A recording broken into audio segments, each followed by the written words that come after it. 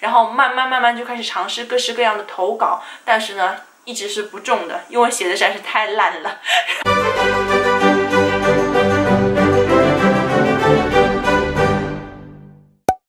哈喽大家好，我是 Parko，今天想跟大家聊聊有关写小说的问题。因为自从我在台湾开始出书之后呢，又陆陆续续一直有同学关注我的脸书啊。首先要跟大家说一声谢谢，然后要说一声对不起，因为我的更新频率实在是太低了。呃，因为一直会有同学。嗯，来私信问我一些关于创作方面的问题，如何写书啦、灵感啦，然后怎么出版啦等等之类的。所以啊，我想今天统一拍个影片，把之前私信回复过的那些问题，再以影片的方式跟大家分享一下，让那些同样有这些问题呢，但是来不及提问的同学看，如果可以帮到你的话，那就是最好啦。第一个问题是说，嗯，好奇老师当初是怎么开启这条写作家之路的？呃，我觉得这个命题太大了，并不是说我一开始就立志。说嗯，我要当作家，而是慢慢摸索出这个过程。因为我很小的时候就很喜欢看书，因为我妈妈也很喜欢看书，所以她也培养了我阅读的习惯。那我开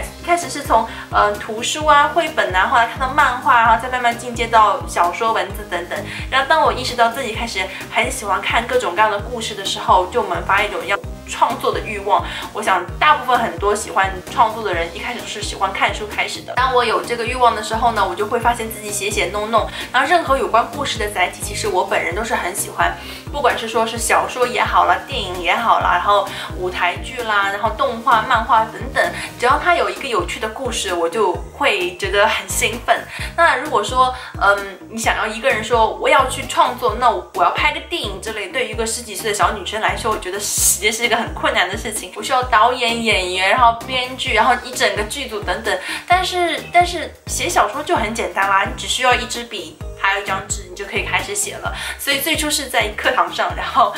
大家不要学我，就是开始写写弄弄，然后写在本子上面，然后创作最初的一些故事。然后后来有了自己的电脑之后，就会用在在电脑上打下来，然后打成那个电子文档。然后慢慢慢慢，当你积累的作品开始够多的时候，你的你你的野心会慢慢变大，因为这边牵涉到一个为什么。要写小说的一个初衷就是说，每个人都不一样。有的人说我其实只要自己爽就好了，我就喜欢写，我 enjoy 这个过程。那有的人就会觉得，哎，我写这个东西，我是想要为了给更多人看，然后希望有人可以从我的小说里得到这些些什么，然后感受到些什么。开心也好啦，然后或者说是感动也好啦，等等，那就牵涉到一个传播的问题。那当时我就觉得我是属于这个类型，因为我希望我的小说可以给很被很多人看到，希望可以有人从我小说中得到一些力量。那如果你的小说传播不出去的话，没有人可以看到，你就达成不了这个愿望，所以就牵涉到一个出版的问题。然后慢慢慢慢就开始尝试各式各样的投稿，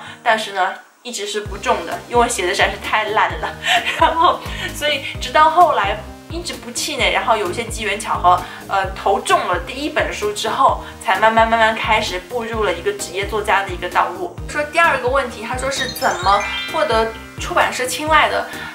投稿。我觉得最简单、简单粗暴的一个问题就是，你就是要去投稿，因为出版社不会自己找上门。对新人来说，绝对不会自己找上门，你需要不断的去投各个出版社，然后让他们知道你的作品。好，下一个问题是说，老师当初成为小说家是通过比赛还是自己投稿呢？那我我是通过投稿的。然后我自己本人没有参加过任何的文学比赛，虽然我也蛮想试试看的，因为我觉得近两年会有很多蛮有趣的比赛，就是这些都是一些比较好的让你的作品曝光的一个一个途径。但是呢，现在有更好的一些途径，比如说网络平台很发达，大家可以在网络上 PO 自己的小说，唯一要注意就是一个版权的保护。请问老师，我的脑中常常有很多灵感，但不知道该如何具体化。嗯。这个问题很简单，你需要准备一个专门用来记载你灵感的东西，它可以是一个小一本小本子，也可以是手机，也可以是录音笔，然后或者说是呃，即是呃很很大的一个手账的本子。然后 anyway 是什么不重要，重要的是当你发现你有这样的很。灵感的创意或灵感的碎片从你眼前晃过的时候呢，你要把它立刻记下来。然后呢，之前我在念书的时候会有那种小的便利贴，所以我有很多很多便利贴的灵感，然后就把它嗯当你想有这种想法之后，立刻记下来，然后你定期的去收集、去整理这些东西。那现在的话，我会记在本子上，或出去用你的 iPhone 记录都是很好的。iPhone 里面有录音的功能，如果你觉得写起来太麻烦的话，你就立刻你就把它录下来就可以了。经常我在睡觉的时候也会有梦到一些，我觉得哇，这个情节太好了，这个梦。然后之前都是晚上。挣扎的睁开眼，然后把它记下来，然后第二天早上起来完全看不懂那个纸片上写的是什么字，然后努力的回忆。那我现在觉得有了录音的 iPhone 或者是这种设备之后，这些记载的方式会变得很简单。所以你把它记下来之后呢，然后你把所有的这些东西头脑风暴放在你面前，就会发现，哎，我想过这个，我想过那个，把这些东西全都罗列出来，变得有条理，然后呢，把它穿到你小说里面去就可以了。形容词、描述词语要如何的写？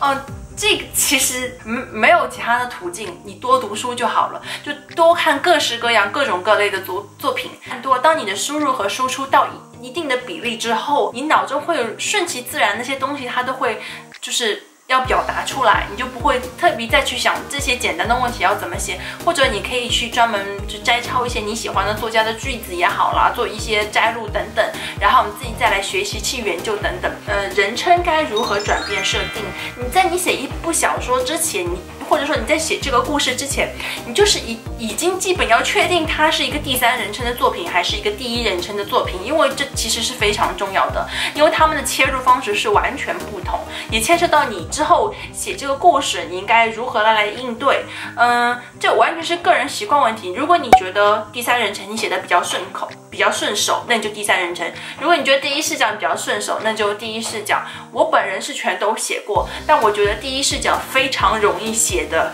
呃写的幼稚，就写着写着变得会变得很小白，所以第第三人称呢会比较正式一点，所以我后期都是大家看到的小说，基本上我在台湾发表的小说都是发表的小说全都是第三人称，但是我也很想尝试第一人称，我觉得以后还是会尝试的。下一个问题，老师都是如何写小说？有没有特殊习惯？嗯。我有很多特殊习惯，全都是不好的习惯，我不希望大家学习。熬夜、暴食、吃甜食、作息颠倒、长时间久坐。全都不是好习惯，老粉丝都知道，每次写完一本书，我都觉得自己半条命快没了。因为当你把这些所有的恶习累积、累积再累积的时候，你的身体会负荷不了。所以这是为什么我还很想提醒新人，你一定要有一个良好的身体来维持你喜欢写写作的这个习惯，而不是去无穷无尽的消耗它。你可能会觉得，哎，这些反正都是老了之后的事情。我年轻的时候，反正先。用力造自己的身体，但我不是的，还没有老的，你就会看到报应了。现在就是个很好的例子，所以，嗯，这几年我都在很努力的，就是锻炼身体，也为了可以活得稍微开心一点。不然的话，当你开始疾病缠身的话，你会真的什么都不想干。好，下一个问题，嗯，请问有什么好的书可以推荐吗？怎么写小说的书？因为我自己本人没有特地去看如何写小说这样的书，但是呢，我找了这两本故事，是罗伯特麦基的故事，还有一本就是，嗯，这个，呃，电影剧本写作基础是西德菲尔德的经典，电影它是。